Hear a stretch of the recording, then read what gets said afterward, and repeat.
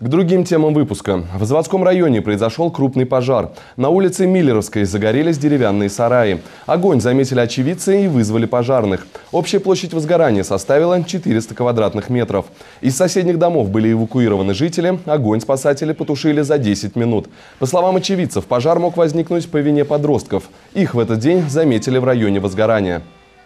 Выглянула в окно, это горят деревянные сараи. Набрали 101 сразу, сказали, что выехали. Приехали пожарники, начали тушить.